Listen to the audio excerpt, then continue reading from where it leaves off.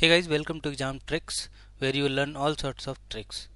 Today we are going to learn a trick to remember the name of the kings, ancient kings who followed Buddhism. This type of question came in UPSC this year.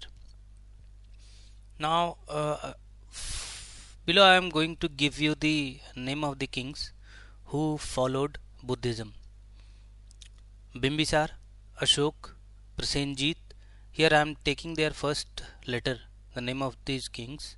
First letter of the name okay? Bimbisar Ashok Prasenjit Udaysen Kanishka Harshvardhan. And the trick is Bapu ka Haath now how to remember Bapu ka Haath